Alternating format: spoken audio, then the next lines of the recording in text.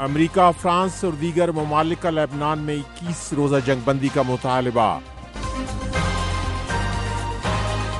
America की तरफ़ से यूक्रेन की फौजी इमदाद में इजाफे का ऐलान। ऑस्ट्रेलिया की अपने शहरियों को लेबनान छोड़ने की हिदायत। वॉइस ऑफ़ अमेरिका, वाशिंगटन से अहम खबरों के साथ मोहम्मद जलील। इसराइल और लेबनान की अस्करी तंजीम हिजबुल्ला में कशीदगी बढ़ने के बाद अमेरिका, फ्रांस और दीगर ममालिक ने बुध को एक मुश्तरका बयान में इक्कीस रोजा जंगबंदी का मुतालबा किया है। खबरस्तान एसोसिएटेड प्रेस के मुताबिक, जंगबंदी के इस माहदे का मकसद फ्रीकैन के दरमियान कशीदगी कम करके मुजाकर की राह हमवार करना है।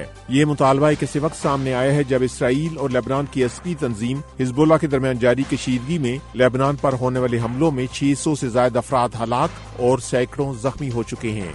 अमेरिका, फ्रांस और दीगर ममालिक का ये मुश्तर बयान अकवा मुतहदा की जनरल असम्बली के न्यूयॉर्क में जारी इजलास के मौके पर जारी किया गया है। लेबनान के वजी अजम ने इसराइल और हिजबुल्ला के दरमियान फौरी तौर पर इक्कीस रोजा जंगबंदी की सालसी की बैन अवी कोशिश का खैर मकदम किया है। उन्होंने कहा कि ये कोशिश उसी सूरत में कामयाब हो सकती है जब इसराइल बैन अवी करारदादों पर अमल दरामद का अहद करेगा। उधर अकवा मुतहदा में इसराइल के सफीर ने कहा है कि उनका मुल्क मुकम्मल जंग नहीं चाहता, लेकिन उसके शिमाली इलाके पर कोई हमला बर्दाश्त नहीं किया जाएगा। क्या आप जानते हैं कि व्यू उर्दू का एक टीवी शो भी है? व्यू 360 पीर ऐसी जुमा शाम साढ़े सात बजे।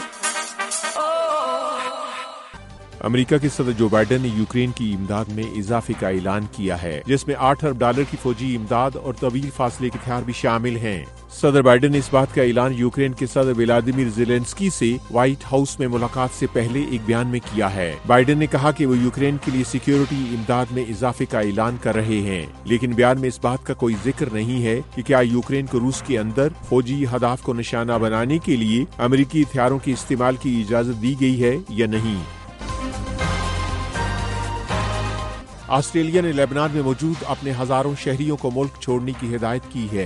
जब खदशा है कि बेरूत एयरपोर्ट बंद होने की वजह से लोगों का इनखला मुश्किल हो जाएगा। ऑस्ट्रेलिया के वजी अजम एंथनी अल्बनीज ने कहा है कि लेबनान से शहरियों के इनखला के लिए एक हंगामी मनसूबा वजह किया गया है, जिसमें समुद्री रास्ते से शहरियों का इनखला भी शामिल है, लेकिन उन्होंने इस मनसूबे की मजीद तफसील बयान नहीं की है। इनखला के मनसूबे का ऐलान एक ऐसे वक्त किया गया है जब इसराइल और लेबनान की अस्करी तंजीम हिजबुल्ला के दरमियान लड़ाई शिद्दत अख्तियार कर गई है और बुध को लेबनान पर इसराइल की फजाई कार्रवाइयों में मुतद अफराद हलाक हो गए हैं।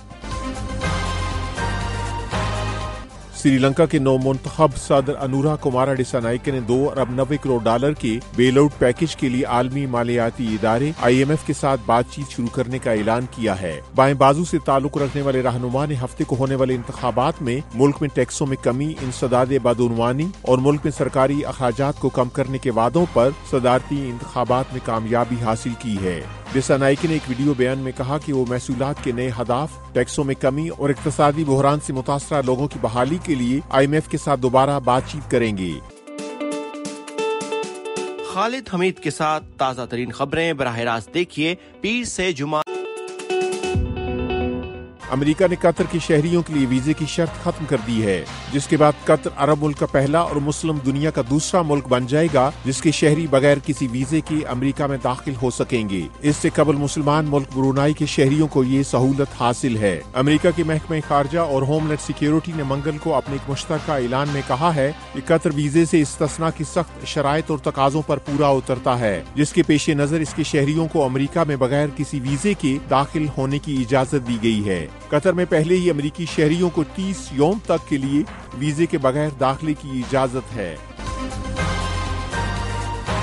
वॉइस ऑफ़ अमेरिका वाशिंगटन की उर्दू सर्विस से खबरों का ये बुलेटिन अब खत्म होता है। मैं हूँ मोहम्मद जलील और एडिटर थी सारा हसन।